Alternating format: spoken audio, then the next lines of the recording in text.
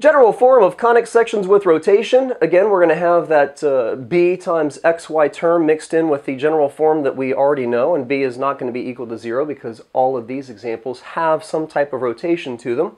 Let's start off by identifying, you know, the rotated conic in this general form when there is a rotation. Well, if b squared, the term of the xy, uh, the coefficient of the xy term, b squared minus 4ac is equal to 0, uh, then you are looking at uh, a parabola. So you can have, you know, a general form here with two squared terms, but yet uh, it be a parabola. I mean, that never happened with your non-rotated conic sections. If you knew if you had one squared term, it was a parabola, and if you had two squared terms, then you know, if uh, these two coefficients both had the same sign, then it was some form of an ellipse. And if these two coefficients had different signs, it was a hyperbola. But here you have a possibility of two squared terms, a squared and y, uh, y squared, and yet it's actually a parabola. So if b squared minus 4ac is less than 0, then you have an ellipse or circle. A circle is just a special type of ellipse. If b squared minus 4ac is greater than 0, then you are looking at a hyperbola. So now that we got the introduction out of the way, let's take a look at a couple examples where we identify the type of conic section when there is a little bit of rotation. No, no, no, no, no. Alrighty, we've got 4x squared minus 10xy plus 4y squared plus 10x plus 2y plus 1 is equal to 0. And if there was no xy term, you know, I would look at that and go, hey, there's two squared terms. They both have the same coefficient, and those coefficients have the same sign, so I would say that that was going to be a circle. But there is an xy term, and you can't do that. So we've got, again, that formula b squared minus 4ac. Well, b is in, uh, you know, a, b, c, d.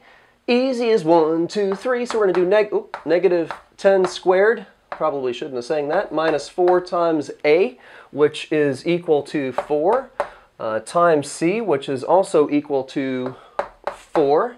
Uh, that's going to be negative 10 squared. Negative 10 times 10 is 100, of course. Uh, minus 4 times 4 is 16, and 16 times 4 is 64, and that comes out to be 36. Well, that is a positive uh, number, or in other words, you know, greater than zero. So we're looking at a hyperbola here.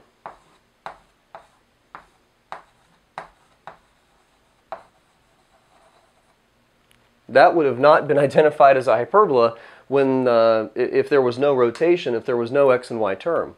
Over here, we've got um, an xy term. We, again, have coefficients on our two squared terms which are positive, but they're not the same coefficients. So again, uh, up until now, I would have looked at that and said, hey, that is going to be an ellipse.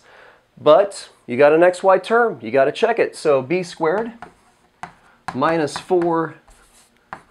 4ac. All right, well, we got 4 square root of 2 squared minus 4 times a, which is 2, times c, which is 4. Uh, here we've got 4 square root of 2. Hopefully nobody in pre-calculus really needs me to show this, but I like to make sure that it all makes sense. Uh, so 4 square root of 2 squared, because you can't really, you know, I mean, you can ask questions in the comments, but I try and get to them. I do work full time though, and sometimes that just takes a while or doesn't happen at all as much as I try. So we're going to expand that 4 square root of 2 out. Uh, over here we got 4 times 2, which is 8, and 8 times 4 is 32. Now, 4 times 4 is 16, and the square root of 2 times the square root of 2 is the square root of 4, which is 2, right? Squaring a number and taking the square root, those are inverse math operations. So we have 16 times 2 minus 32. We have 32 minus 32. Well, now that is equal to 0. And just a second ago I said if b squared minus 4ac is equal to 0, uh, then you are looking at a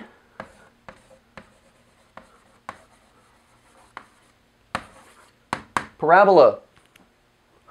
I've never seen the equation of a parabola, a conic section, that had two squared terms before. Well, you know, except for the last time I taught rotated, uh, rotated conics. Now, let's get on.